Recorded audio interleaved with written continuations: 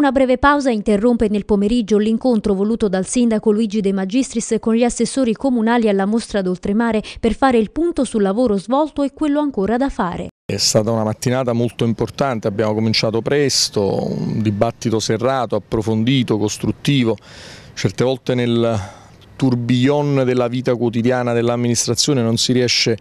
a dialogare in modo approfondito, a confrontarsi per ore, invece adesso è un confronto che dura ore sui problemi della città, sulle prospettive, sulle questioni principali, sulla politica, sui rapporti con le altre istituzioni, a cominciare da regione e governo, eh, quello di poter comunicare al meglio ai nostri concittadini tutto quello che stiamo facendo, il grande lavoro, i problemi, le difficoltà, ma le prospettive, insomma quindi esce una giunta più forte, più coesa,